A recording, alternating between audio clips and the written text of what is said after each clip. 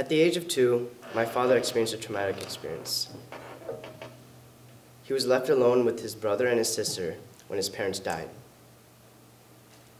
My aunt and uncle were forced each to take on low paying jobs that often led to working late into the night just to keep their family together, to keep their family alive. Now, my father came from a place in India called Orissa, which is right over here. As you can see, according to the legend, it's one of the most impoverished states in India, even back then and still today. And so, despite this adversity, my father overcame this tough situation through his hard work and dedication to his studies, despite the typical teenage distractions, such as peer pressure or even the ladies. Eventually, my father graduated at the top of his class and got an opportunity to come to America, where now he lives the American dream of success. Now, how did he achieve this state of success? Well, it was through his hard work and dedication to his education. It was because he worked hard even though he had no support system, even though he had no one to uh, fall back on, even though he had no option to go back to.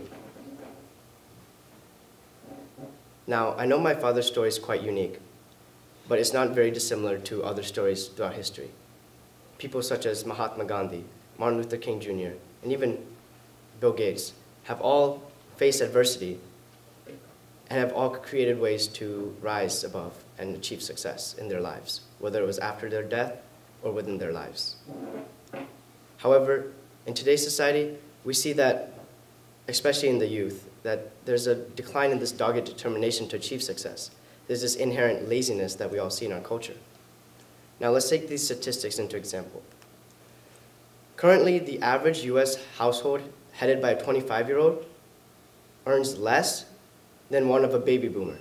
Now what that means is that the baby boomers' level of productivity in their workforce is much greater than that of our youth workforce. Now, baby boomers are people who were born after World War II, in years 1946 to 1964, which renders them an age about 51 to 70 years old today. Now, the fact that these retiring generation earns more than our current youth population raises some major concerns about our productivity levels. Why is this retiring nation earning more than us? It is because of this inherent laziness that our youth culture has experienced and this recent advent of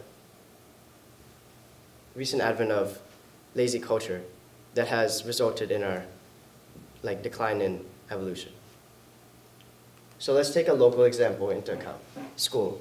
So many times in school, students tend to procrastinate and leave assignments till later. I know this firsthand because I'm a victim of this procrastination. There have been many times where I've pushed off that chem test, studying for it, to the very last day, or even doing that calculus worksheet the morning of. I've even binged Membean hours at a time just to meet the deadline. So why do we as students keep doing this? Why do we keep procrastinating and putting off these assignments till later?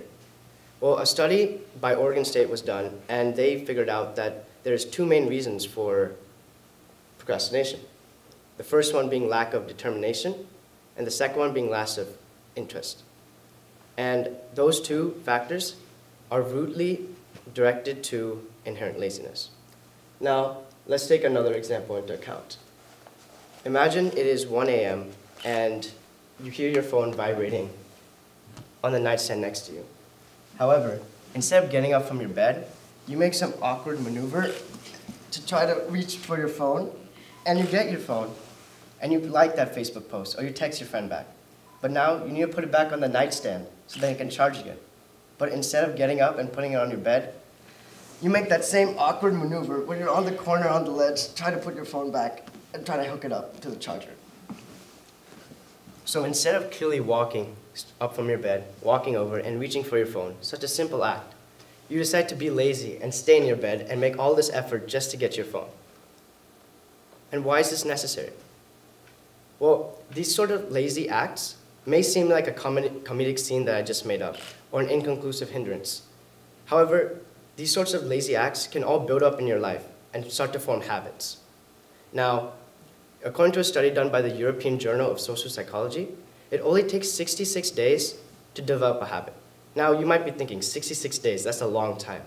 However, they said to get rid of this habit, without constructive reinforcement, it could last a lifetime. It could take you your entire life just to get rid of this one simple habit. But why do these small habits affect us? I mean, who cares if you turn in an assignment late, right? You'll just get that 70 and you'll be fine with the rest of your grades. Well, these habits start to develop over time, over repetition, and can be really detrimental to yourself.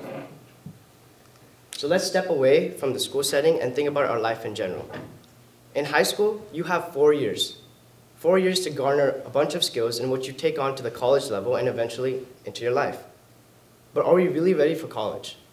Are we really ready for the rest of our lives? Are we learning the proper skills to be able to implement them in life, real life situations? Well, in an analysis done on an ACT test, only 46% of people were not ready. Now, although 46% is the minority here, that is still a large part of our population. In addition, they also found that 46% of people were not ready to take on the skills they learned in high school and move that on later into adulthood. And think of it this way. Many of you know relatives, pa your parents, and even teachers that have put off assignments to the very end, that have put off that Christmas shopping to the very last day, that have decided that they're going to do their Thanksgiving shopping the night before, on that Wednesday. And so why do we keep doing this? Why does society as a whole just keep pushing off our tasks to the very end? Especially now. And so in a solution to solve this problem, I've created three things, three simple rules that you can implement in your daily lives that can help you step away from that laziness. I call them lazy threes. The first one being recording your goals. Now, I know you guys have heard of recording your goals a multitude of times, but there's a reason you've heard that. Recording your goals is important because it takes the goal from your mind and materializes it in front of you. Which is why it's important when you're recording your goals to write them down physically, or at least type them on your computer. That way, you're taking something that is abstract and putting it on something physical, where the goal almost becomes real. The second lazy three I've created is to get organized. Now I know many of us are organized in the school setting, but it's important to be organized in all facets of your life, for your extracurricular activities, and even for simple things such as cleaning up your room. By making things organized, you make things easier upon yourself, and when things are easy, you tend not to quit. However, being unorganized leads to things being more complicated and more hard, and when things get hard, humans have the tendency to just give up. And you do not want to give up on your goals because then you're falling back into that lazy culture that many of us have already fallen into. The third one is to plan your day backwards. And now this may seem odd, but I'll give you a personal example. Suppose it's a Monday night, and I want to get home by 9 o'clock. So what I do is I'll plan everything in my day accordingly so that I can get home 9 o'clock, which means I must either reduce time in one event or extend time in another just to meet my requirements. For example, on a Monday, I'll have school in the morning. So I have to wake up at 7.30, get to school by 8, and then conduct all my daily school activities from 8 to about 4. Then from 4 to 5.30, I have some off time. So that's when I allocate time to do some homework, whether it's studying for tests, doing an assignment, doing some MB. And then from 5.30 to 8, I have work on Mondays at Mathnasium. So I'm going to go over there, work, tutor kids, and then from 8 to 9, I give myself time to come home, since it's pretty far away. Now, since I plan my day like that, I must do more work in a decreased amount of time, which practices increasing my productivity. Let's say between that 4 to 5.30, I must study for chemistry as well as doing a calculus worksheet. That means I must be able to do this calculus worksheet with 100% of my effort so I can finish it in time to study for the test, to finish it in that 5.30 span. In implementing these three simple tasks, you can step away from the laziness that most of society has been kind of hovering towards and you can really create a positive difference in your society.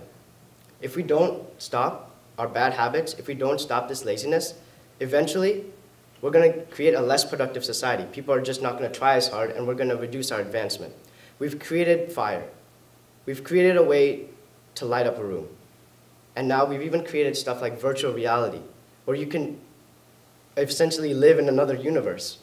So why must we stop this exponential evolution now? Why must we slow this down with our laziness? Us as youth must take control of our own mindset and must push ourselves to advance the society as a whole. Thank you.